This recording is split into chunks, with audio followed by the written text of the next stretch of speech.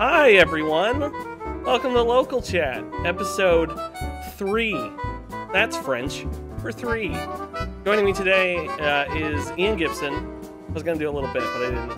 This song is such a banger, man. I love it so much. it is pretty good. Uh, also joining us, Jake Terrio. That's me. He is one one quarter of Subpixel. Unsung hero of spotlights on Mondays. Um, that's it. That's I've all been slacking off. me. Yeah. Now we can move on. Okay. Uh, that's the show. So thanks for joining us. Um, today we're going to be talking about such hot topics such as Apple first dipping into VR, uh, the second uh, suing of the cyberpunk, and also many other things, including Mario's weight. But before we do that, we have to discuss what I like to call what we've been playing. Ian, do you want to kick that off? Yeah, I'll kick it off. Um, let me start with the slow stuff first. By slow stuff, I mean the quick tidbits. Folks, I've been playing a lot of iRacing.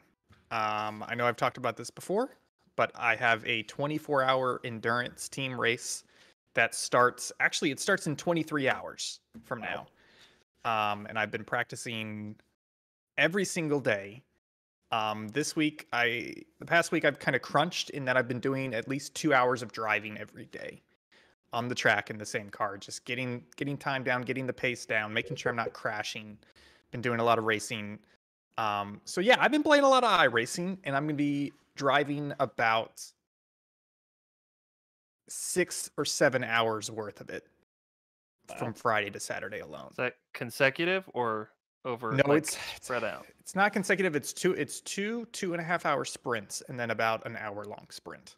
That's not so bad. Uh, it's not terrible, but it's it's like the thing about iRacing is that it's a very good driving sim, which means uh it's not like driving your car for 2 hours, it's like driving Have you guys ever driven fast in your car? Like honest question, you ever driven like very fast even for just like 30 seconds? Yeah. In the whole of my life, I've only gone like 20 over, and that's if the speed limit is already like 65. Like, that's not surprising at all. Um, I know. So the thing when you're driving fast in your car is you quickly realize it like takes all of it's like it's like full of adrenaline. It takes all of your attention because you're at the edge of the car and you're like, you know what? I don't want to. I, I- you're any little small mistake can can throw the car out of balance, etc. You know, you're going too fast. You got to slam on the brakes, etc. So basically, this is going to be two and a half hours straight of white knuckle driving, where it's like if you come out of a corner and you go to 50% throttle instead of 40% throttle, all of a sudden you're spinning the car, you know, or um, it's a car, it's a race with 55 other people. I'm sorry, 55 people total on the track. And it's multi-class, which means that there are basically three cars of different performance levels racing on the same track. You're not racing against the slower cars, but it's basically like taking three separate races and holding them simultaneously on the same track. And I'm in the fastest car class, so I am constantly passing slower cars. And it's like when you get next to a slower car, you're like, "Hey buddy, I'm faster than you. Are you do you see me here or are you going to turn into me on accident?" And it's just two and a half hours of white knuckle driving and the whole time you know your fuel is going from full to empty so like it literally starts changing the weight balance of the car so the car starts turning differently and your tires start going so it's it's like it's like two and a half hours of driving is nothing if you're just driving a minivan you know but white knuckle racing driving with other people at like 200 miles per hour at daytona is just like it's oof. anyways been playing a lot of that for practice Anecdotally, before you keep going, because I've wanted Mhm. to ha- a chance to mention this and I have not had the opportunity. Um, do it on the note of me not ever going that fast over the speed limit, I was over uh like November, I was taking care of my grandpa because my parents had stuff to do. And uh, we had gone to go pick up some food from a local Japanese place, and the parking lot was one where it has like the switchback where you like drive one direction in um, every other lane. yeah And we got back in the car, and he's like, "Go that way," and I'm like, "That's the wrong way. I'm gonna go this way." And he's like, You could go that way. And I'm like, Grandpa, I'm nothing if not a rule follower, assuming that my 95 year old grandfather would appreciate this. But no, Yeah.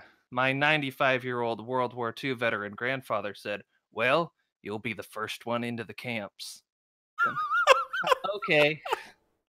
And then we went home and Oh, had. Japanese food. That's hilarious. Yeah. You know, it's funny. uh, You know, I I made fun of you a little bit for not going over the speed limit, but I'm one of those drivers where, like, 95% of the time, I am a safe driver. You know, I don't go that far over the speed limit. Like when I drive crazy in real life, it's very like back roads. There's nobody around. I am completely in control. You know, and it's it's funny because like I do all these racing games, but just last week I called 911 because there were two people street racing on the road outside my condo at 6 p.m. on a weekday. Literally in the middle of traffic, they would come up, stop side by side to block all the traffic behind them, and then do a countdown and then peel out up to 100 going up and down this road. And they were doing it for 25 minutes. And I was like, these idiots. Two things. Number one, Maggie, my fiance, is coming home at any minute, and she's going to have to drive through those bozos, literally going three, four times the speed limit. And number two, somebody died last year because they got hit by a car going 110 miles per hour when they pulled out. They pulled out because they didn't see the car, and all of a sudden, a street racer slammed into them. So I literally called the cops on him. So you know what? Good for you, Jake, for following the rules. Thank you. Yeah, I've never really lived anywhere with back roads, and the only place I've driven on back roads is like rural Kentucky, where it's hills and tight corners, and you Oh. cannot speed Yeah. that. You got to be pretty ballsy. I do that every now and then in the Miata because the Miata sticks to the road really well. Mhm. but but most of the time I follow this. Anyways, been playing a lot of iRacing racing games still. And um, if you're sick of hearing about iRacing, don't worry. I'll talk about it more next week after the 24 hour race is over. Anyways, um, the other thing I've been playing is I love incremental games, clicker games, idle games, whatever you want to call them, like Cookie Clicker, etc. Do you guys like those types of games? I'm into 'em. It depends on the one. The best experience I've had with an inter- incremental game was uh, Space Plan, which was actually a Devolver digital release. Um, Oh. developed by um, a guy named Jake Hollands, who we inter- Mhm. we interviewed for Waveform on a- an early Waveform. So Fancy. Oh, I'll have to check that out because basically, um, I've been trying out some exponential, I'm sorry, some incremental games because I've been itching for them. And one of them was, I've kind of just gone through a couple of them. Um, one was Exponential Idle, which is kind of weird. It's, um, I only played it for a couple minutes. I quickly realized it wasn't for me, but the interesting thing it does is, so, so Will, you know how most games, like idle games, they have an aesthetic on top, you know, like Cookie Clicker or like I forget. I played one for a couple months that was all about eggs. Like you buy a chicken Yes, and the Egg chicken gives you eggs. Yes, that's a good one. This one, literally, the aesthetic of this is that there's no aesthetic. So you're just looking at an equation, and the equation is literally just like this is how we are calculating how much you are earning per second. And the upgrades are like you are adding variables to that equation. So it's like it's like uh it's like C equals DT, and it's like C equals the currency you're earning, T equals time, and D equals your your earning rate. And you're Mhm. like, okay, well, I'm gonna pay 10 bucks to double D. It's like on 2D, 2D, and it's like, oh, well, I'm gonna pay hundred dollars to square D. So now I am exponentially making more. So it's literally just a formula that you are slowly manipulating to make more money. Um, I'm not smart enough for that.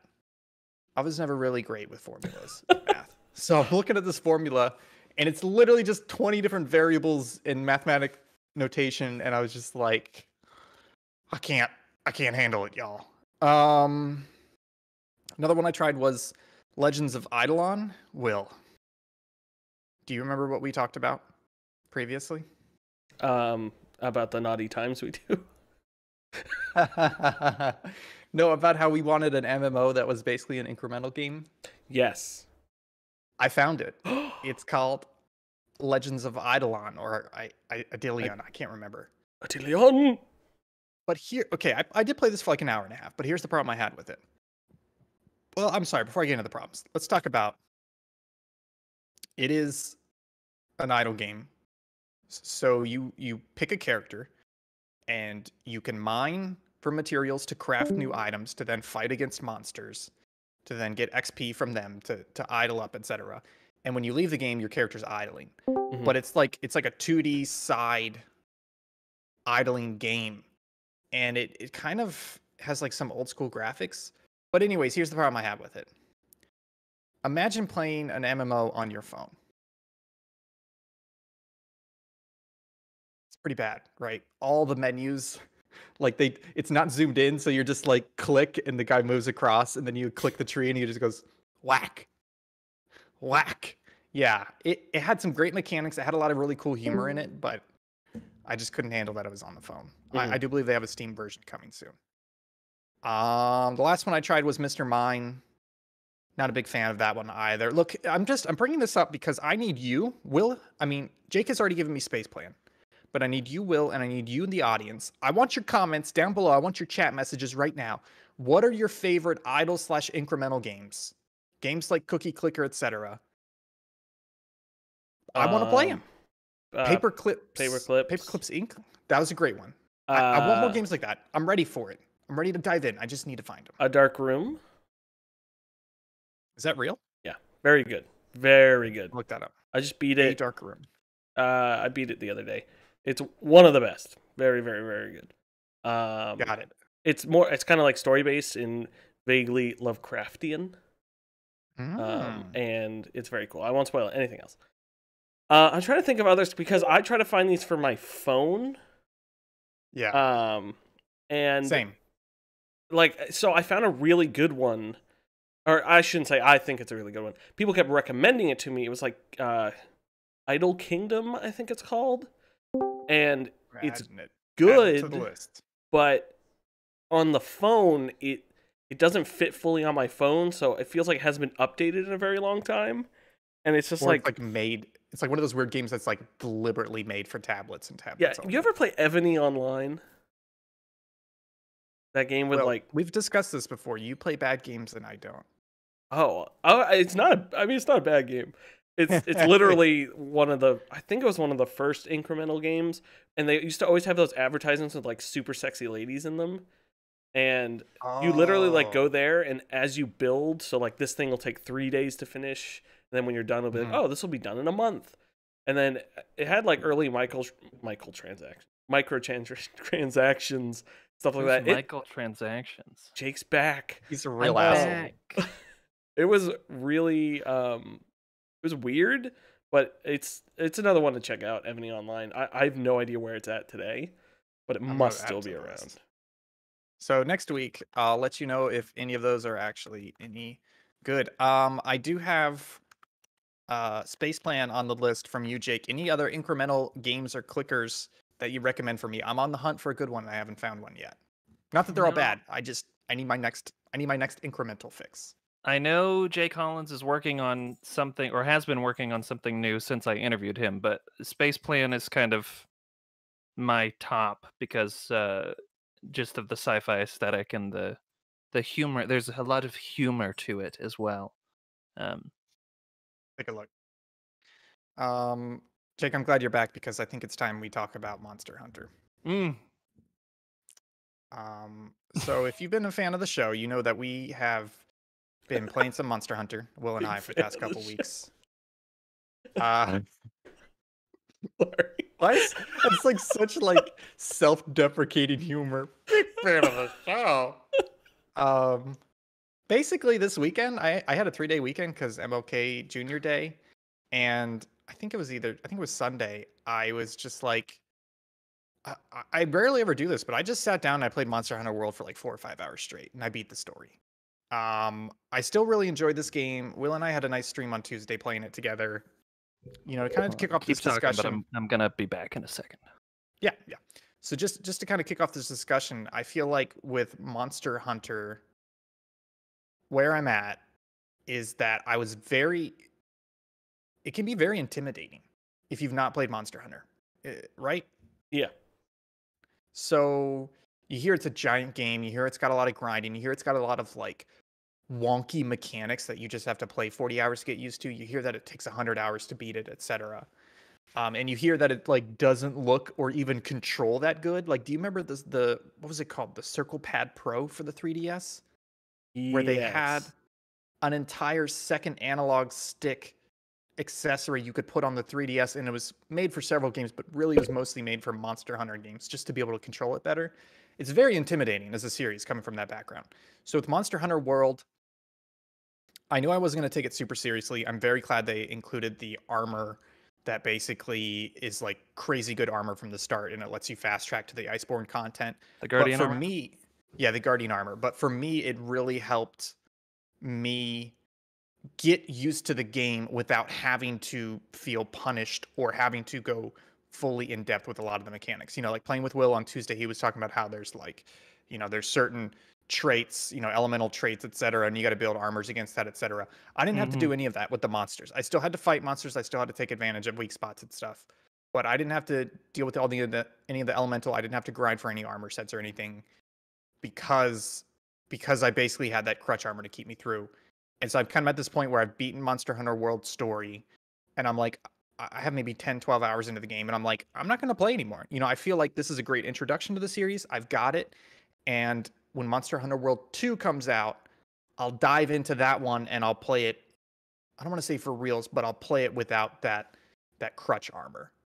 Um Jake, maybe you're you're kind of the Monster Hunter expert on Subpixel. Is that right? I, I would say maybe on Subpixel, but definitely not anywhere else on the internet. Was World your first Monster Hunter game? World was my first Monster Hunter game. I'd always kind of seen it like off in the wings and been like, "Oh, that looks interesting." But I know that they like the or ones before this were on like the 3DS and so, like like Yeah. handheld systems that I didn't have. Um, I'm also in my Anjanath t-shirt. If you're not looking Mm. at the webcam, Is that what? yeah, man. It just looks Um, like a T Rex sneezing. It's the worst. Yeah, it's got the big nose floop thing. Looks like the but, um, dinosaurs from the hit movie Dinosaur. No, they look That's a- way cooler than that. Oh, there was a movie called Dino. I thought you were talking about the TV With the show. monkeys. no, that die? Dinosaur the three the 3D animated film from Disney. There's a dinosaur ride at Disney's Animal Kingdom where I lost a cell phone. Did you get it back? Well, that's your fault for going on the ride. So. Yeah, it was. um, but no, yeah. So Monster in Hunter World was my first. Uh, we, I, we had talked about it amongst like my Destiny clan. A bunch of people were interested in playing it, and one guy called it Jurassic Park for psychopaths.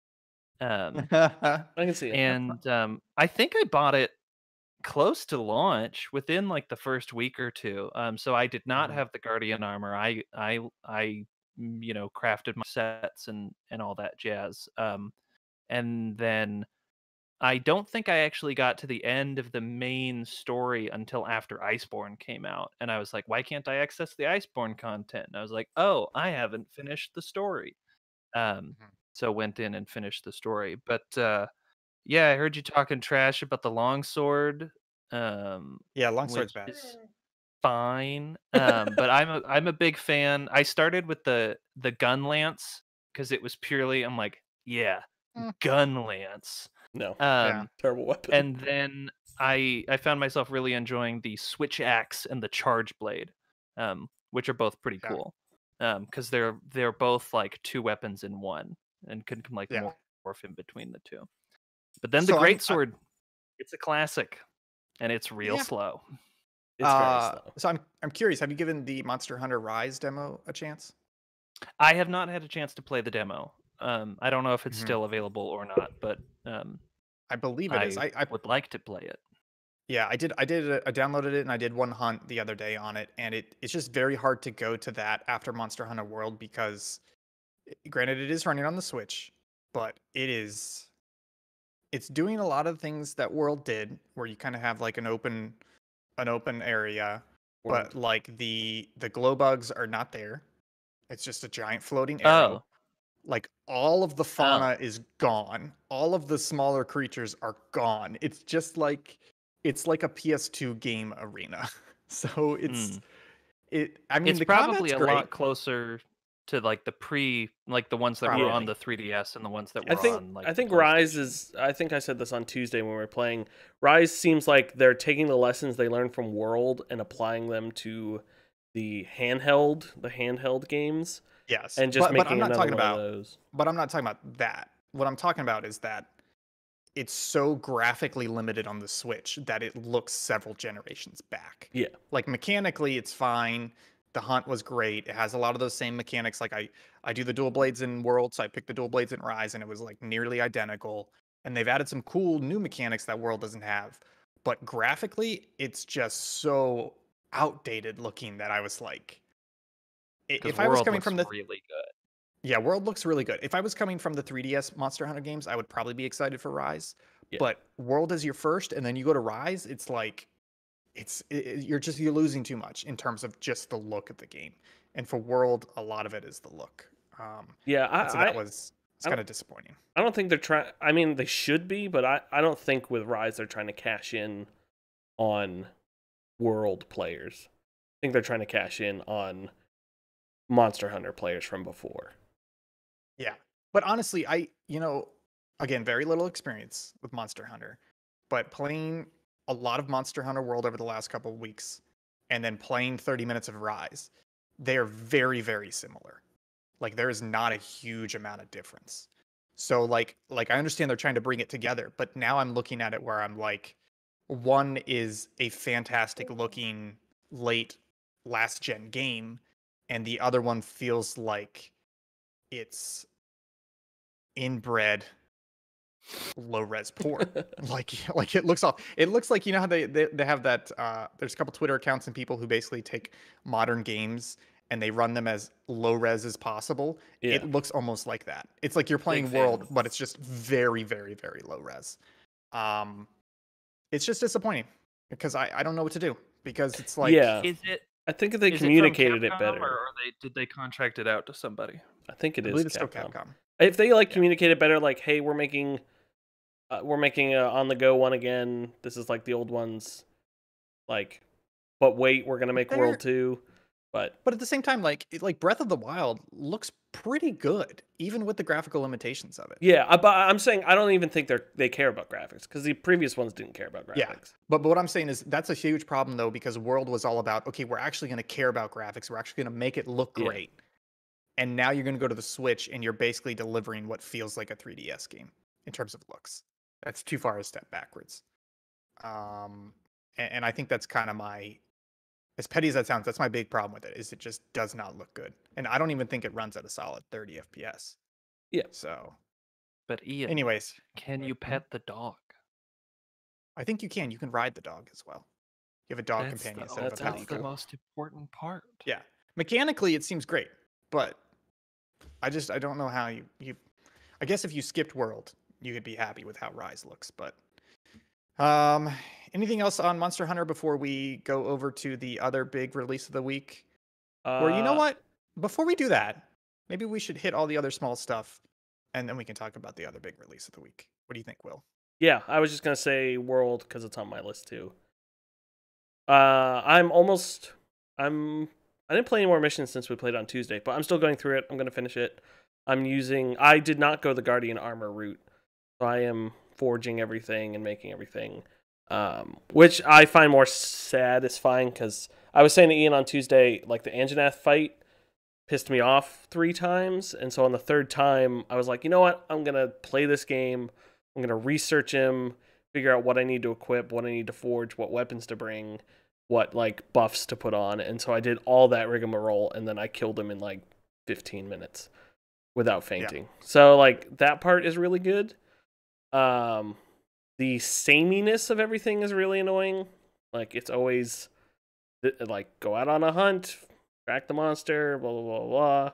Yeah, and Um, how like like seventy five percent of the monsters' move set is the same animation and behavior across all Yeah. the monsters. And I wish the collection, like, there's missions that could easily just be bounties or like, like collect three Yeah. of these things, but you have to go on an entire separate hunt to do it. I am Um, not a fan of how complicated like the menus are. Oh, it's so Japanese. Um, Yeah, it's yeah, it's just very a lot. It's like like Yeah. menus within menus, Oh Yeah. yeah. cascading. It's menus all the way down. Um, but yeah, that that's my piece on Monster Hunter World. Um, Jake, uh, why don't we go through all the stuff you've been playing? Oh yeah. So I got a micro SD card for my Switch finally. Woo. So I have 400 gigabytes of extra space. Wow. So I've just Nice. been on a spree because there's been a lot of like games that I've wanted to play in like the the deals section on the eShop, and so I've been snatching up a bunch of those. Um, and so I had a metric butt ton because I wanted to say that, and I wrote it down uh, of PTO at the end of the year, and so I had a lot of time to sit and play games. Perfect. Uh, the big three, big three of which were Blasphemous, which I played like three or four hours of, and then kind of I didn't enjoy it as much as I thought what, I i- would. what is that game? It's uh, Metroidvania. Okay. Yeah, it's. I think I don't know if maybe I'm not far enough in it, but I'm wishing there was fast travel. Will, I know you played at least a little bit of it. Um, Yeah, I played. I want to say five or six hours. It was free a weekend on Xbox, and I plan on buying it because I did really enjoy it. I Um, really love the like the mood of it. How it's like this like hyper Catholic self flagellation Yeah, does that- fetishism. Does that have a name? It's like Bloodborne without the horror part of it. I mean, it is very gothic in feel. Um, but yeah, it's just a lot of like, I have sinned. Please forgive me while Yeah. I murder these things. Let me like, fill my "Mm, helmet with yes. blood and then put it on my head. Yeah, it's so good. Very Um, good. But I did not like the gameplay as much as I was hoping, so I didn't. I will probably go back to it at some point. But then I played um, Into the Breach, which is um, like a uh, yeah isometric turn-based tactics, and that was great. And I blasted my way through it and like unlocked all the little groups, and then did the one where you can build your own group and go Yeah. do missions. That was super fun. Uh, and then I played Mini Metro, which is a, a minimalist like subway planning simulator, um, which is just super chill. You're like, hmm, yeah, get these people around town, and Mhm. it's got a procedural score from Disasterpeace. So like as you build the subway lines, the score gets more complicated and more full. Oh, that's cool. Um, yeah, it's pretty Yeah. neat. Um, yeah. Then still playing Animal Crossing, at least an hour a day. Yeah, I saw you on the other day when I was checking in on Yeah. my people after three months. Yeah. It's uh it's just nice. Just nice to hop back into that town. There's no COVID on my island. Go around chatting up everybody. Not Um, yet. Not yet. I keep I keep putting in the in the board. I keep updating the case number and it's still zero. so Oh. I thought you were Um, actually updating it with like Trying to scare your US residents. or Florida numbers. like Julian got COVID today. Everybody don't go to his house. Four hundred thousand. yeah. no. Bad. Oh. Um, Then I got on the eShop for like three bucks a game called Hey Buddy, a game called The Shrouded Isle, which Sounds familiar. similar similar to Blasphemous is like a uh it's got that same kind of like gothic we are sinners, we must cleanse ourselves kind of vibe. Waffle please. I'm talking about video games. Um but it's like a did either of you play Reigns? It was a mobile game, I think also Yes. published by Devolver. It's like that, where there's a bunch of like you have to manage the populace's stats so that Mhm. they don't like revolt or like they don't go to church enough, etc cetera, et cetera. And after five years, you play it in in um, seasons. So you play like three months at a time um, oh. which is three turns. One one turn is each month. And after five years, the like ancient god is supposed to come back.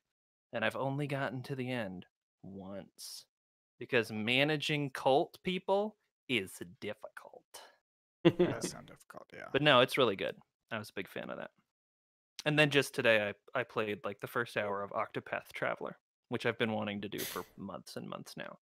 Is that Nice. that thir- the what's it called? Octopath Traveler 2, but it's actually the third one? Or am I No, thinking it's of Bravely Default. It's That's from the people who made Bravely Default, I think. Yes. Um, but Octopath Traveler 2 was announced, right? I'm Was gonna it? Look it up real quick. Maybe. Oh man, while you're looking that up, I saw a JRPG today from the guy who created uh, Final Fantasy called Fantasian, and they are building physical dioramas for each scene, and then taking a picture of it and then putting it in game with the game characters in it. And That's uh, pretty cool. they released like a Christmas card um, showing it off, and I was like, "Is this what they're doing?" And then I read the article, and it's like, "Yeah, this is what they're doing."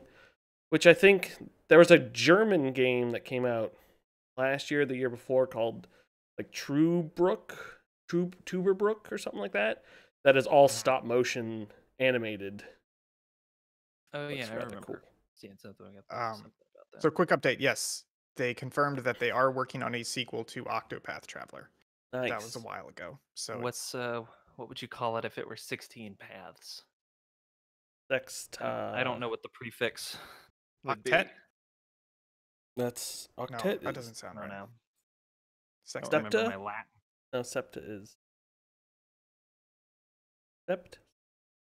There is also the you Octopath get Traveler? Dodecahedron. one of the that's more sides than 16 um you pick one of the eight travelers to start and then you can collect like the others as you complete that person you picked's campaign. And um i picked this uh huntress character whose name i can't remember because i i saw that she could tame animals and that was what you used in combat. Um but i don't know if it's a matter of the localization or what but some of the No. dialogue is just It's by choice.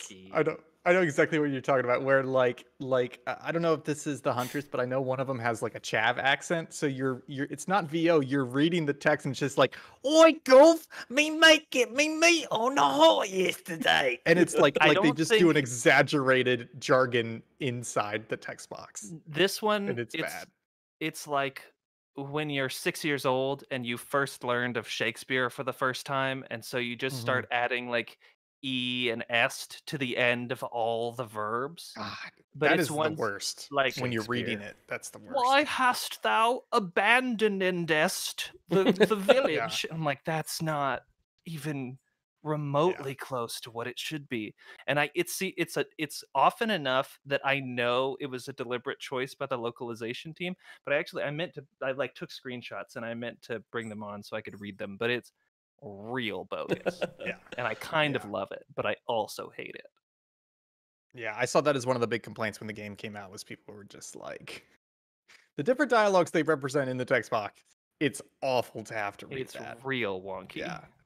Jeez. That makes me not want to play the it. combat is really good and the music and art is also really good so think- if you can get past the yeah, text I'm I'm this close to my first JRPG.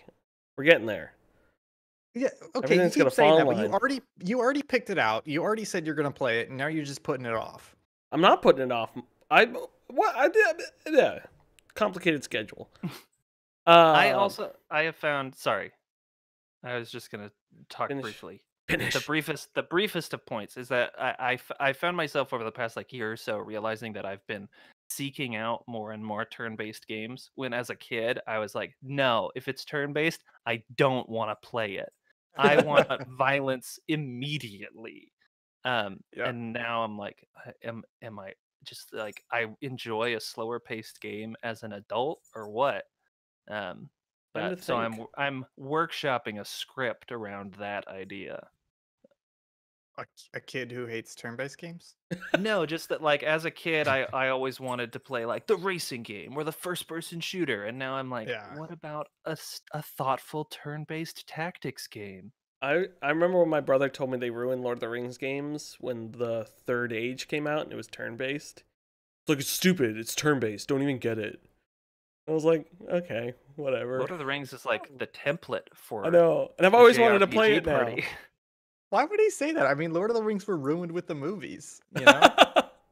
this is also the brother that I had to beat two towers for him. because he couldn't That's a do good it. game. And that's when I realized I was better at video games than my brother.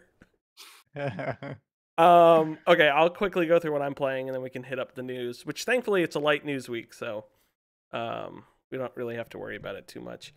Uh Let's I'm just talk about the inauguration. yeah. Uh yes.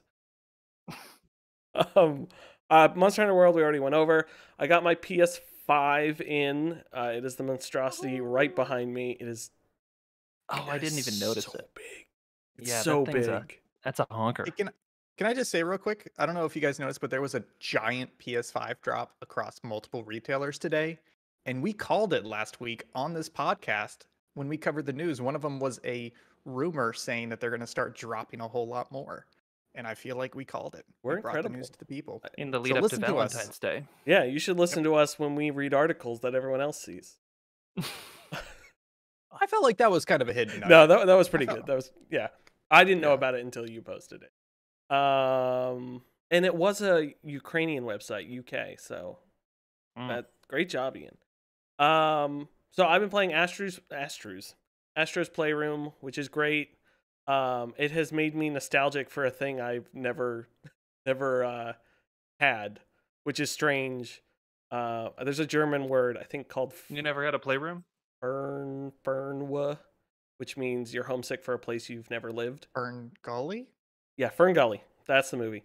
Uh, but anyways, uh, Astro's Playroom really cool. Great showcase of the controller. I was every like time I came to a new thing, I was like, Karen, put your hands on this, and like have her Yeah. play with it. And she was like, Oh, Yeah, that controller. And I was like, Yeah, it's really want cool. to hear you. Yeah, that controller is Yeah. amazing, and Astro's Playroom is by far the best experience with that controller. Yeah. and it's incredible that it's a pack-in game. It's oh cool. Uh, I dipped into so I my bundle came with Demon Souls and Miles Morales. Miles Morales included remastered Spider-Man, which I never beat and don't remember. So I dipped into Marvel Spider-Man, swung around a little bit, and I was like, I will replay this game, but not right now. Uh, I'll come back to it and then hit up Miles Morales. Um, after that, still playing Red Dead Online, which is fun. I got to do my dailies today after the podcast. Uh, and then I was I I bought the Castlevania collection on the Switch, and I've been playing through Castlevania One because I've always wanted to just beat them all, uh, and have fun playing them. Uh, I don't know what it is. Castlevania is one of those things like Dwarf Fortress that I just really enjoy, and the aesthetic is very cool, and yeah, great games. Well, So- well, what is a man? What is a man but a horse with no legs? Is that? I'm so confused. Is that quote from Castlevania? The- It's a poor. It's apparently a poor, again, a poor localization of whatever the Japanese dialogue is. Of when Huh. Dracula says, "What is a man? A miserable little pile of secrets." It's such a. I like Oh. that quote though. It's That's really great good, quote. Symphony but it's Night apparently not accurate, is a great game. Oh. or not as accurate as it could be. There was a good uh the Bernie Sanders memes. There was a good one of him sitting where Dracula is with Richter. I was very into it. Um That's been most of my Twitter feed for the past 24 hours. uh, my friend told me that when they interviewed him and said, "What were you thinking when you were dressing up for the inauguration?" He said, "What I was thinking is two thousand dollars for every American." and then- my buddy's just like, "Always on brand, Bernie." Always on brand. Apparently, the lady who made made those mittens, her Gmail crashed because so many orders came in. For them. oh, I can imagine. and I think I that's saw adorable. when I saw somebody tweet like, "Hey, this is the person who made those." I'm like, "Hmm, that email's going down." Good luck. Um. Okay, so let's dive into the news here. Um, We're gonna skip the last game. I know we're running late, but we're just. Oh, Gonna, oh, sorry. I, I completely. I'm sorry. I completely gonna blanked. skip it. No, no, no, no. We're not skipping it. I. Sorry, it slipped my mind. It's getting disguised as another game, and we won't notice it. the the bolded stuff in dark mode do not show up very well. Um, another game Ian and I, I know Ian and I have been playing is Hitmon Three, Hitman Three, from IO Interactive. Whoo, it's a good one. I'm How at- far are you? I just got to Berlin. I am about 30 minutes past that. I've played about 30 minutes of Berlin. It's um, oh, the beginning of that level. No spoilers. The beginning. I am going to play it. Spoiler yes. I, I, I'll just say, you know, if you played Hitman 1 or 2, it's more of the same, but they basically added they added a camera, so there's certain points in the level where you like scan something and it gives you more intel. So instead of just picking something up or getting little overheard pieces of intel, you can also scan items. Um, they're they're marked items, so you don't have to worry about finding the items to mark uh, to scan. Um, they also added shortcuts, which are basically so imagine you're infiltrating a mansion, for example, and you spend 40 minutes getting to the top level of the mansion, and you find you could find a ladder and you could drop that ladder down to the first level. And now every time you play that level, every time you replay it, that ladder is already dropped. So it is cre- basically created Oh, that's what a the- geographical shortcut throughout the level. I hate There's not to a whole make lot of 'em. comparison, but like Dark Mhm. Souls. Yes, very similar. Okay. Yes. So they they've done that thing where you know they already had new starting locations, they already had hidden caches, etc. But now they actually have like physical ways of more quickly traversing a level on on other replays. It's neat. Um, it's very I don't want to say it's very story heavy, but you know the first game was story light. The second game they leaned into the story. The third game, this is the conclusion of the story, so they are very they're leaning far forward with the story. So just make sure you're a little bit brushed up on it, even though they have a nice reminder at the beginning. and they kind of Um, they made the first Mhm. time you play a level it's kind of been this way but this time they really forced your hand where it's like the first time you play a level just follow the story mission because it Yeah. will it will like the first time i did dubai i had watched a streamer play it and i was like oh this is really different and i was like oh it's because they weren't allowed to play the like story mission so as long as you follow those the first time it it really plays out way more cinematically than a normal hitman level would yeah, Um, yeah. It se- it seems like they they hold your hand a little bit more introing the level, but the levels, you know, both of us have seen three of the levels so far. They're much bigger and more complicated than before, and, and I would say both in good ways and bad ways, because uh, sometimes it feels a little bit overwhelming. You know, some of the older levels felt nice because they were smaller and it was easier to master those levels, and these ones, even though I only have one playthrough on each, they're pretty big. Like there's certain parts of the level where you you pop out a different spot and you're like, oh my, oh I can go to that building over there, and that's a whole nother attached location. that berlin level is huge it's huge. So it's um you know, again, between the two of us, we only have probably two, three hours into the game so Yeah. far, but it's definitely great. If you've not played Hitman 1 or 2, what is your problem? They are incredible. You need to play them. If you don't like stealth games, I don't care. I don't like stealth games. They're incredible. Play them. They are just, you got to play them. And you can skip right ahead to 3 if you want to, but honestly, you should really just go back and do 1, 2. You know, I was trying to follow the purchase up. Is there an easy way to just buy, like, give me all the Hitman games? Oh, oh, welcome to three? Will's personal hell. So I think the answer is no. when right? Hitman 3 launched, there's a website where you can carry over your progr- carry over your progression from Hitman 2, which is something I very much wanted to do because I have Yes. a lot of levels of mastery. Caveat though, it has to be on the same console family. Yes, has to be on the same console family. Yes. Um, No so I've always crossover. played on Xbox. Yeah. Um, so the website was not working, and people were understandably angry because if you started Hitman Three and then imported your stuff, it would delete your Hitman Three stuff, which seems weird. But I'm sure there's a reason. There's plenty of people being like, "This is easy. You could easily do this," which I hate when people say that because you have no idea what's going on. Like, well, look, look. I just want to say, it's not that difficult to do that. They just implemented it wrong. That's all I'm gonna say. Right, but you don't know that. It Yeah. could have been the person who worked on Hitman 1 could have written it in a horrible way or something. But anyways, so that all worked and then you don't know. You weren't you don't uh, work look, there. all I'm saying is, all I'm saying is, it's not like it's an impossible problem to solve. It's just that they implemented it in such a way that they have created this. They they are the creators of this restriction. yeah, that's no, that's fine, but people who think it's like, "Oh, just flip the button." It might not be that way. There's No, plenty of no. reasons why it now, couldn't work. Yeah, now they can't flip the button because they designed it wrong. Yeah. But just to be clear, I'm just saying it's their fault. Period. You know, don't don't be like, well, coding is hard. It's like, no, they coded it wrong. They're not gonna be able to fix it quickly. But it's not necessarily their they were the people who were doing it were thinking of it this way. Anyways, um, Yeah. So currently, all of my Hitman One and Hitman Two masteries are into Hitman Three, but Hitman Three does not understand that I own Hitman One. Because in order to do Oh. that, you had to import Hitman One into Two, which I have done, and then when you import Two into Three, it realizes I own Two, and then when you're you're supposed to so there's these access passes they add now, which is very simple. It's simplified the thing for newcomers.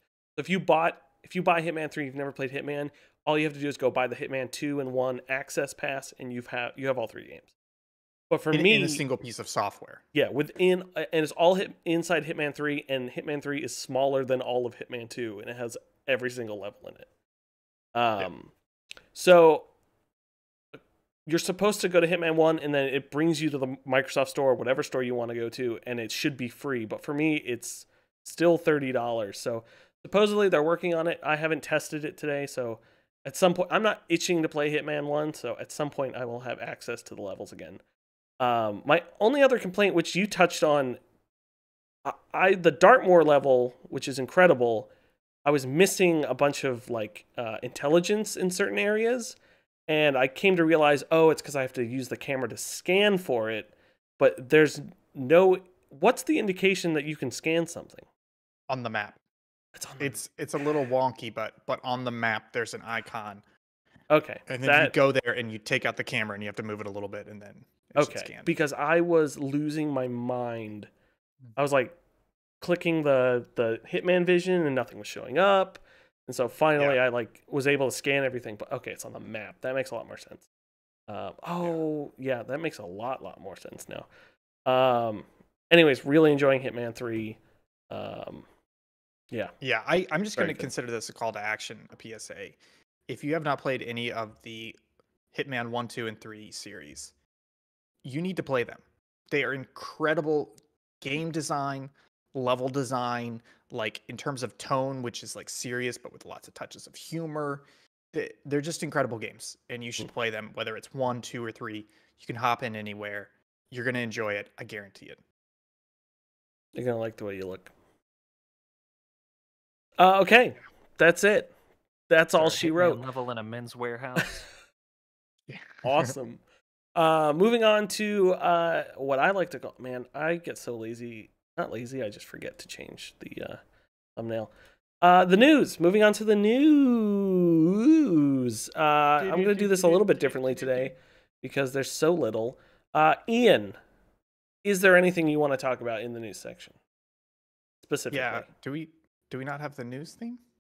Oh, we do have the news theme. I was gonna ask. I w- haven't Sorry, sorry, been on this sorry. Sorry, I was. You know, it's the way things happen. Here we go. In the news today, there have been 17 dead mammals on my fridge. That's the news theme. I think I gotta boost it because in in Fubar it's real quiet. Anyways, Anyways, just um, like- News time. Just like Wolf Blitzer. The Wolf. uh, the topic I want to talk about is a little article from Bloomberg, which has a whole bunch of insider info on Apple's first VR headset. Did you guys happen to to read and or scan this article? No, I I'm assuming it's it. like five thousand dollars and has wheels that you can add on for another. You know what? You're actually very close. So basically, this is um, it's just a whole bunch of insider info about this headset, and uh, there's a lot of crazy little tidbits in here. But basically, Apple's been working on a VR headset with some AR capabilities along with it. They want it to be a super high end, and they didn't put a price tag on it, but they likened it to the six thousand dollar Mac Pro desktop computer, just like a high end consumer. They also talked about how they they also talked about how this doesn't sound like a sales plan this just sounds like a sales estimate if i'm reading it right but quote some apple insiders believe the company may sell only one headset per day per retail store which is would be just over 180,000 units over the year um so they're not expecting this to be to sell like crazy. Um Weird. I'm gonna but say the reason why the, the the reason why the cost is going up is they say it's going to have uh very high res displays higher than current displays in uh, VR headsets as well as a uh, chip. They already have a chip in it that is equal to the M1 Mac processor which just came out which is very fast uh, I'm sorry Jake did you have something No, I was just gonna say that they've definitely got ahead of themselves, and they should have saved the term Retina display for their headset. Um, yeah um some what are they other tidbits they they there's a couple different dates thrown out in this article. Possibly as soon as 2022. Now they're targeting 2023. It may even be later than that by the time it comes out. They're struggling to get the headset weight down. They have a fan on the headset to cool it because of how hot the processor is running. It's an all in one integrated headset like the Quest. They've moved away from tethering to a PC uh, like the Rift S does and the Rift 1. They also tried for a little bit to have wireless beaming, as in you would have a you would have a base station that is doing all the processing power and would wirelessly beam the video and input content to the headset. They got rid of that. They wanted to be all in one like the Quest 2. Uh, the exterior is apparently right now it's cloth because they're trying to get the weight down, which makes sense for a VR headset. So they they talk about how the HomePod speaker has like a cloth exterior. It's like plastic and cloth, I believe. Um, so just a lot of interesting tidbits in here. I, I don't know. What do you guys take on on Apple entering the VR space? What do you guys think? I'm I mean, I guess just knowing about other Apple hardware, I'd assume that this would not be a headset that you'd be playing games that you'd play on a Mac. It would be a headset that you would use with your Xbox or your PC or your PlayStation, right? Because there's like No, no, it's it would be standalone. It would be like the Quest 2, as in you put it on and everything runs on the headset.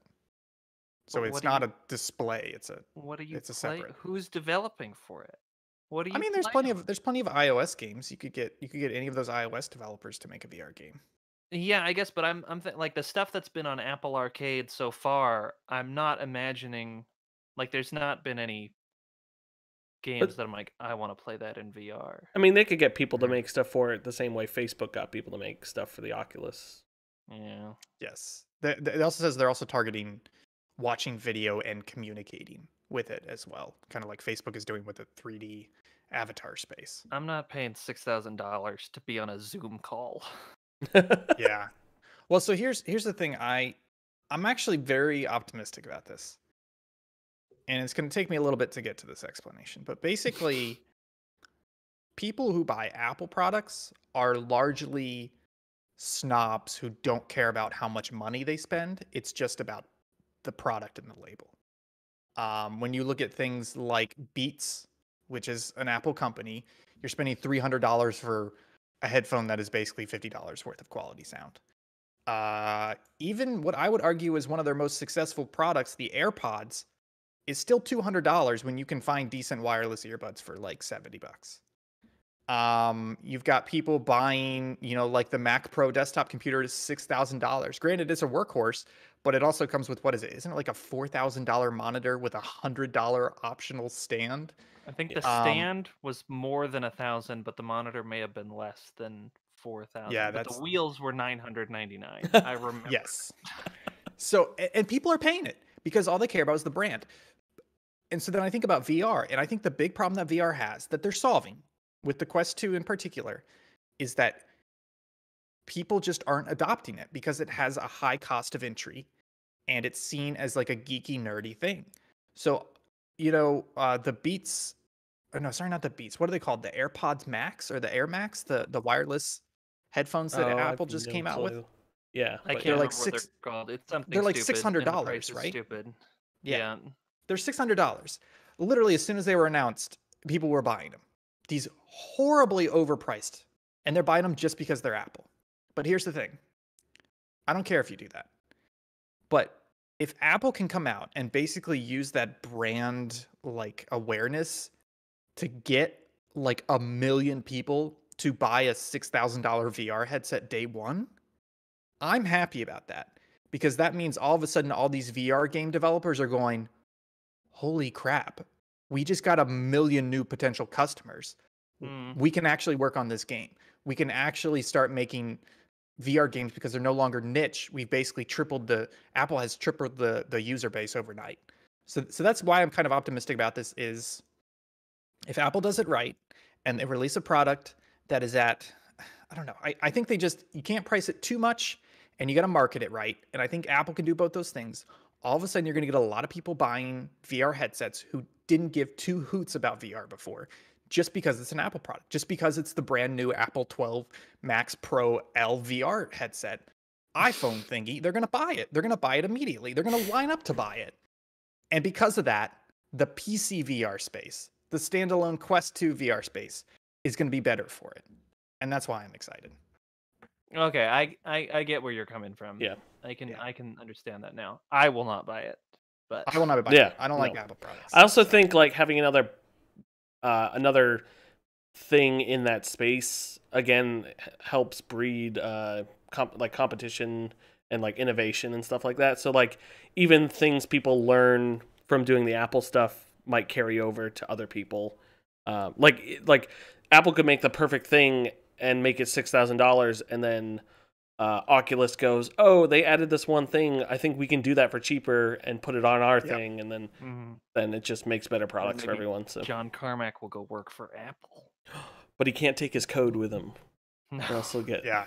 dude. That that's a good po- that's a good point though because when you look at like when you look at digital music, when you look at the smartphone, um, all of those were kind of pushed by Apple innovation.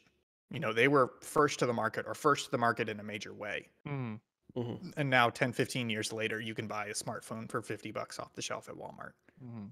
you know? Yeah. So that's kind of what I'm hoping is that Apple can come in as a heavy hitter, bigger than Facebook, bigger than Steam, and have that customer base that is rabid and expand the VR market, even if they offer something that's crazy overpriced and isn't that great. Yeah, I mean, yeah, they, like you said, they so- did it with. You know, go ahead, Jake. No, I was gonna. i I have a longer thought. If you have a short thought. Well, I was just gonna say, yeah, they they did it with iPhone. They did it with smartphones. They did it with uh, music, digital music. They did it with uh, streaming boxes. Yeah. Like with everyone- AirPods as well. Yeah, AirPods. Yeah. So I was going to ask, um, tangentially, just looking at you bring up this this Apple maybe making a VR headset. Do you think that that will snowball into like an Apple games division where they might commit more fully? Like they when they launched Apple TV or Apple TV Plus or whatever, they got Spielberg and M Night Shyamalan and J.J. Abrams and a bunch of people to try to you know convince people to flock to their product. I would be interested to see uh, when I jokingly said that they were going to get John Carmack from Oculus, um, like Oculus got John Carmack from id. Do you think that's an avenue Apple might try to go down? So where they're like, well, we've got this set of hardware. Let's you know broaden the Apple Arcade into a more holistic games space and build our own gaming hardware and get a I- bunch of people like FromSoft Yeah. exclusive to make a game for the Apple. So I I don't think they're going to build more hardware. I think you know, they're not going to have an Apple console. I also don't think they're going to have an in-house studio because you can look at A- Amazon threw a whole bunch of money. They you know, I know people who got offers from Amazon or went to work for Amazon Game Studios because of the amount of money they were throwing around. And l- literally nothing good has come of it. You know, it's just been a money pit. So Mhm. I think Apple's smart enough to not fall down that. I think they're going to do the same thing they did with Apple Arcade, kind of like what you were talking about. Is they basically go out to developers and they say, "We want you to make a game. It's this much money. If you make a game for Apple Arcade, it's double that if it's an exclusive for Apple Arcade." And they can get a whole bunch of developers to do that. You know, the same as Oculus reached out to EA for a Star Wars Darth Vader Infinity, whatever that Mhm. stupid Star Wars exclusive game is. You know, Yeah. I think that's going to be their avenue is basically throwing money at existing developers rather than building their own studios right. or, or rather than building their own console ecosystem. Um, but that is an interesting question, you know, because the the VR ecosystem right now is basically it's basically Steam, where you have a whole bunch of random apps running through Steam. Oculus is building like they have their own storefront and everything because the idea Mhm. is when you put the Quest on, you see the Oculus storefront. That's how you navigate your library. I don't know what Apple's going to do. You know, are they are they going to they're probably going to build their own VR arcade version, but then they got to build a whole storefront for that. They Mhm. can't lean on their existing arcade because none of those games are going to play in VR. Well, you could get them to play in VR, but they'd be crappy. Yeah, You know, they would just be 2D in VR. So they're going to have to build their own VR catalog out of that. Whereas, you know, Oculus, they've been doing that for years. Steam, it's very easy. You just have a game. You just you they included a VR interface for your existing library. So Apple's going to have to build that out. But that could be a problem because if you don't build it out right, you buy your $6,000 headset, you put it on and you see a mediocre interface with 10 games on it, Mm-hmm. you Yeah. know. New So I'll say before before we move away from Apple Arcade, I would like to mention that uh, Nuts, the squirrel surveillance game from Yoon, who we met in Iceland, is coming out on Apple Arcade in like a week or something. Oh, that sounds cool. Nope. Yeah. I'm nuts for it. Uh, yeah, so that was that was kind of my pick. Uh, I felt like that was, like you said, it's been a slow news week, but that was something that really stuck out to me. Was basically somebody coming out with a whole bunch of insider information saying, "Look, here's where Apple's at with their VR headset." Yeah, totally. Um, yeah, Jake, I don't know if you had any chance to look over the new stuff. Is there anything here that you, anything that speaks to you, or I, I can just uh, run through a couple things? I did have a chance to look over the list, and I went, "Wow, I don't really know anything about any of this." So I'll talk about it if somebody asks me. But Um, um, Really? I, I mean, I'm not. It's just because I'm not really qualified to. Oh yeah, no, Oh, it's, none it's of fine. us are It's- qualified. I'm It's, um, tangentially interested in the Resident Evil showcase, but I didn't watch it. Yes, so uh, I'm just gonna run through the rest of the stuff quick. You know, there's nothing else that you want to go in depth on, is there? No, I, I was just gonna say like a little peek behind the scenes is basically we have a note stock running for the week, and then as news stories come up, we add it to it. And I feel like until this morning, there were basically two tiny news stories on here. Mhm. It That is was- It was Cyberpunk and Apex Yeah. Legends. you, like it feels like every podcast says this about 20 times a year where it's been a slow news week, but this is the first time that I've been like, it really was a slow news Mhm. week. There's just not I feel a like lot a big on. event in the history of America kind of took over. yeah, Resident Evil 8, man. Resident Let's- Evil 8. Uh, let me just go through this list quick. Uh, Jason Schreier did a great uh, article about Cyberpunk 2077. Talked to some insiders, all sorts of stuff on what caused the video game's disastrous rollout. A lot of good info in there. Um, highly recommend it. Good read. Good writer. Um, there was a rumor that Apex Legends is coming to the Switch. Uh, there was a tweet uh, in China that had it labeled there. it has since been removed from the like official thing it was on. So that's just communism at, at work, man. yeah, communism at work. Uh, it's just a rumor for now. Um, Real quick, can I just say something? I I'm gonna look this up, but I'm gonna say it anyways. Is this about Apex or about communism? This is about Apex. Guess what engine that game runs on? Uh, is it not Unreal? No. is it not um, What what did what did what was Titanfall on? I believe maybe the same engine. it's engine. not Frostbite, is it? Well, I was gonna say if it's not Unreal, because that's what uh, Yeah. Fallen It's the Order was on. s- it- same it would engine as Titanfall. It would be what Titanfall was on, which yeah, like Eh, I would say I would have said like Frostbite or Cry Engine. It's the Source engine. What? way. 2004. Yes, it is. They No. heavily modified. Yes, it is. They heavily modified the Source engine to get like that player count up and the map size and everything. So when you say it's running on Switch, I go, yeah, I could see that. I could totally see that That's on so Switch. good. I, Gary's I would have had no idea. Yeah. I thought you were gonna say Apex Legends is a bad game, which I would agree with you. Oh, excuse me, Will. That's a good game, man. We beat that game. Yeah, I Just just say I'm not. If it does come to Switch, I'm not gonna get it there. I mean, especially if there's crossplay. I feel like I would be at a severe disadvantage true. to anybody playing on literally any other console. Um, PC.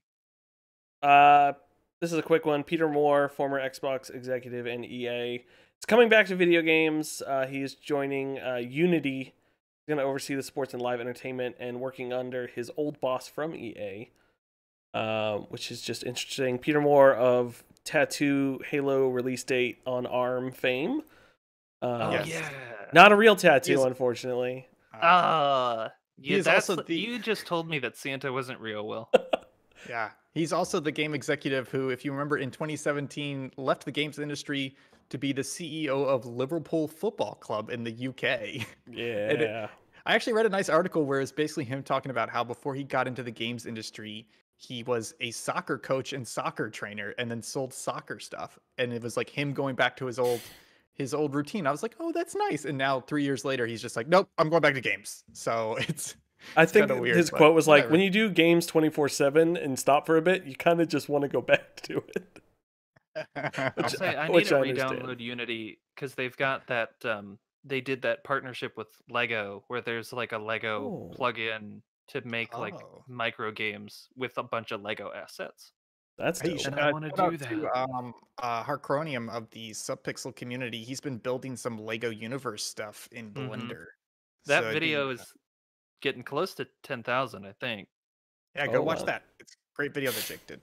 Um, next up, uh, Tak- Takaya Imam- Imamura. Takaya Imamura. I'm bad at Japanese names. Sounds right. Uh, is uh leaving Nintendo after 32 years. Creator of Tingle, and uh, He did a bunch of- Tingle was in the thumbnail.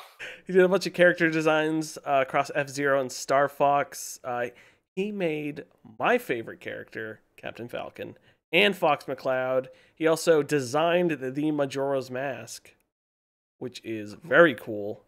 Did you see this tidbit? According to the IGN article, uh, they say, "quote According to Zelda series producer Eiji Aonuma, Imamura came up with the word Majora by combining his own name with Jumanji."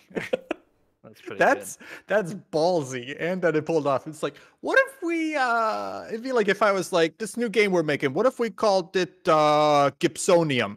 Huh? huh? good. Sold. A million Sold dollars. million dollars. Um, so uh, he said, "This is my last day going to work. I took a selfie with the empty office. I guess it won't be coming. I won't yeah, be coming can in anymore, as you'd expect. I'll miss it, which is adorable. Yeah. Cute, cute man. That's depressing because then you can't really have a retirement party. Yeah. Yeah. Um, and uh, f- not finally. Uh, I'm gonna do this little tidbit, but let's see if this actually shows up. Oh, it did show up. I hit play on this. Um, this uh, B-roll footage of from 1990. I watched the entire thing. Uh, it is playing on stream right now. If you want to watch it, hopefully, we don't get taken down for it. Uh, it shows NES consoles being made. It's B-roll of inside Nintendo of America in is it Redmond, Washington Yes. Sounds right. showing people building NES by NESs by hand. There's uh one snippet talking to the designer of a hands-free NES controller that you could only get by contacting Nintendo support for people who are paralyzed or handicapped, anything like that. And I actually watched a couple videos of it in use, and it's pretty dope. Um, and I also had no idea such a thing existed. yeah, me neither. And uh, showing a bunch of Q and A, Q and A stuff, and uh, or sorry, Q and A, QA stuff, testers and everything, and like asking if they like took the quiz on Final Fantasy and like Zelda and stuff. And I was like, Oh, it's there incredible. were, there were there were three highlights for me. Number one was the first like four or five minutes of the of it is like it's the uh it's the reporter like doing the talk to Yeah. camera bit, but he just keeps making mistakes, so they have to like it's like outtakes. It's, It's great. like it was purposely edited like that. It's so well done. Yeah. Yeah.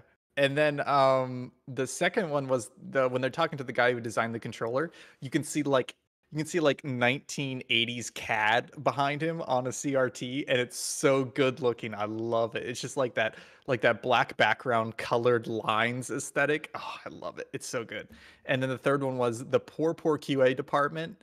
They had like it's just like an open room and they just have clusters of like CRT TVs next to each other and then just a bunch of folding chairs right next to each other in front of them and it's just all these QA testers packed in like sardines next to each other on folding chairs playing these games and it was like oh you poor poor testers I feel for you you don't even get a real chair or a desk you just get folding chair in front of a TV The best was half the half the testers were already using the NES Advantage because clearly Yeah. they're like they don't want to hold a controller all day. They just rest their hands on the desk. yeah Like, and the lady like, can you can you play a level of Tetris and then play level nine of Tetris? Like I want to I want to show it going faster. oh, it's so good. It's good Um, stuff. It's just like real good. Like not just for Nintendo stuff, but it's just a real good like video from the 80s. you know? Yeah, it's yeah. It was it. I the other the guy had also uploaded like a Toys R Us from '92, So I was watching through that, which at one point it just gets really creepy when he's filming just a woman. I'm like, can we stop this now? but it was clearly for like one of those like uh like a lady quizzically looking at something for the news, but she like Mm. notices him and it's like really weird. Um Camera starts You shaking. gotta- Yeah. if you're if you're rolling camera on somebody, the, your producer's got to go over there and get her to sign something. it was the Or you gotta 90s. Nobody cared about anything. It was the um, 90s, Yeah, dream of the 90s. pre 9/11. Yeah. So it was pretty cool. Uh, definitely check it out. Uh, it's really relaxing. Uh, and then finally, uh, we'll just touch on the Resident Evil showcase that happened today. Um, they announced uh, Resident Evil Village. They showed a new trailer. Then they showed some gameplay. Boy, does it look like Resident Evil 7, and I'm very excited. Uh, it it kind of looks like a mix of Resident Evil 7 and 4. Uh, so it's first person, uh, and it's like werewolfy and gothic and creepy castle, and it's everything I want. You're playing as Ethan again. I don't know what happened at the end of seven, but I'm gonna find out because I'm gonna play it before this game comes out.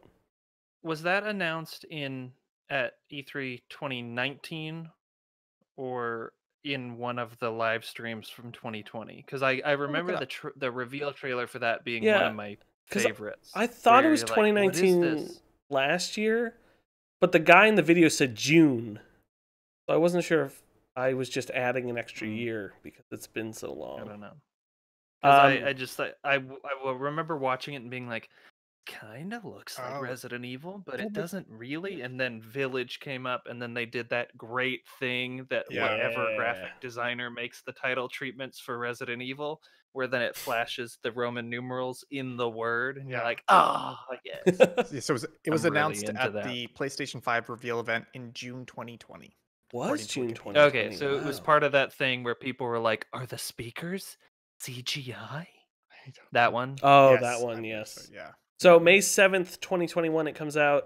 Um, so yeah, I have to start playing Resident Evil Seven in order to get ready Uh, Do for we think that Eight Village. everything seems like it's been delayed or getting delayed. Do you think that it's actually going to come out in May? I think so. yeah, I don't I think mean, they would have been- announced it this close. How long has it been since 7 came out? Three three years? A Seven while. 2017. It was for me two apartments in one house ago. 2016. Yeah, let me look it up real quick. Um, they also so that's coming out. Uh, there's a 2017. there's an exclusive demo for the PlayStation 5 right now that features ray tracing. Uh, and apparently there's no combat. You can just wander around the castle. Uh, so I don't know if that's just going to be spooky or not, Hmm. but I'm going to play that this weekend. Uh, should be fun. Um, Spooky Yeah, the other thing about the demo I saw was that it is not part of the game. They'll reference it in the game, but it is basically it's kind of like Ground Zeroes. It is a separate experience that ties into the main game in certain yes, ways. it's called The Maiden. well, wasn't I? I don't know. It's been a while since I played seven, and a while since I played the demo for seven. But wasn't the demo kind of like that, where it was in that same space that you played characters that you then didn't end up playing in? I don't. I thought the demo game? was. I thought the demo was the opening of seven. Yes, I think it You was that could be right. VHS opening. Because I know there's a It's couple. the first points where you house. It's the shove first little VHS house. VHS tapes in, Yes. yeah. But yeah, it's seven. yeah. I, I'm excited for this game. I will not be playing it. It is terrifying, but it looks like it's just as good as seven. And I was forced to play the first hour of seven. Terrified. It was a great game. terrified. So I am excited for anybody who wants to play this game. It looks like you will enjoy it. I will not. I seven. I've played half of seven before. Terrifying. I don't understand how Dan Reichert played it in VR. I would scream, scream. You know, like I'm not I'm not like a huge VR person where I'm like VR makes everything better, but having played Phasmophobia in VR, in case Mhm. you missed that stream, I just basically shut down. I could not move.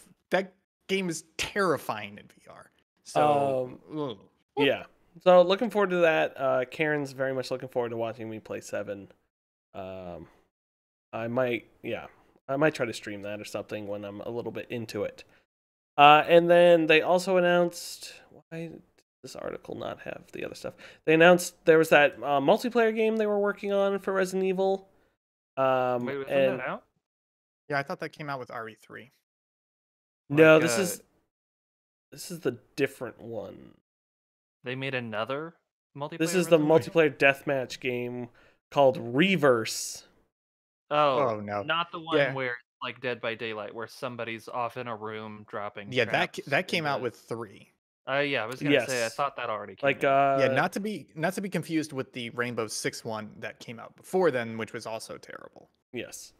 It's uh yeah, it's that kind of game. So this one is uh AI controlled monsters, stuff like that. Uh, I'm vaguely paid attention. when does the multiplayer Outlast game come out? Is there a multiplayer Outlast game coming? That got announced. I want to say maybe a year ago or more than that. Is it literally called Outlast? No, the key art was like a beam of light shining down, like the the, the green night vision type thing, and it was Oh, yeah, yeah. dudes in like like VR headsets that had been like screwed into their skulls, like reaching up towards the Yeah. light. Ugh. It just says 2021. When's the Mm. horny Giger game coming out? Scorn. Scorn. Not was soon gonna say, enough. Are you talking about Scorn? Um, I don't know. when does the Medium come out? That's this 2021. week, right? Medium comes out next week, I believe. I think I'm gonna. I might try to stream that. Uh, I'm looking forward to scary, scary game. Oh, the new Dan Um, Mullins game comes out this year too. Maybe Ooh. Inscription. card Um. game. So yeah, that that's it as far as news. Um. Yeah, slow, slow news week, as they say. Um. You guys got anything else you want to add? Anything you wanna wanna pitch? Yeah. Um, I'm just gonna say it again, folks. I need your incremental idle games. Send them my way. I feel like it is a drug that every now and then I binge on, and Daddy's hungry. Tweet So- at Think Gibson. Tweet at Think Gibson. Comment on this video. Come knock on my door and tell me in person. I want them. Do it. Give it. them a shot. Um. Jake, if people want to shout things at you, where can they do that? at underscore Jake Terrio or at www.jaketerrio.com, which will give you my personal email address in the contact. Nice. Uh, and you can find me on Twitter at Hunt270. You can find all of our stuff, subpixelfilms.com. Bring straight here to our YouTube channel, which you are currently watching us on. Until then, until dawn, I have been Will Crosby. That has been Ian Gibson. That has been Jake Terrio. We are Subpixel. Bump it up, bump, bump, bump. And We'll be back on Saturday. I'm not sure what I'm playing yet. I might play this Resident Evil demo, or I might play Hitman 3, or I might just stream myself ripping my flesh off. That would be fun. Be a good time, honestly. Um, I was gonna let the sun play out, but I think I'm just gonna just gonna end it here, folks. So have a wonderful night and dream of sugar plums berries. Bye.